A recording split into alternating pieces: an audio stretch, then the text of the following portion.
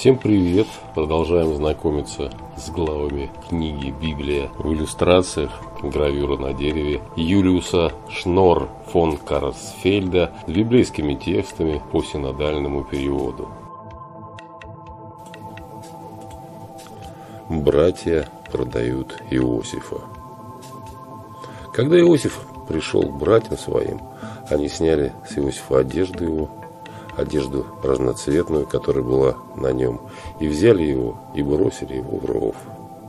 Ров же тот был пуст, воды в нем не было. И сели они есть хлеб, и, взглянув, увидели, вот идет из Галада караван измаильтян, и верблюды их несут, стираксу, бальзам и ладан. Идут они отвезти это в Египет. И сказал Иуда братьев своим, что польза, если мы убьем брата нашего и скроем кровь его? Пойдем, продадим его измаильтянам, а руки наши да и не будут на нем, ибо он брат наш, плоть наша. Братья его послушались, и когда проходили купцы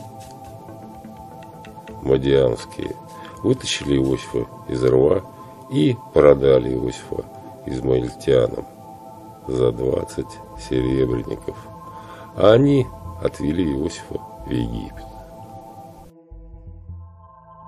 Текст по книге «Библия» в иллюстрациях гравюра на дереве Юлиуса Шнор фон Карсфельда с библейскими текстами по синодальному переводу.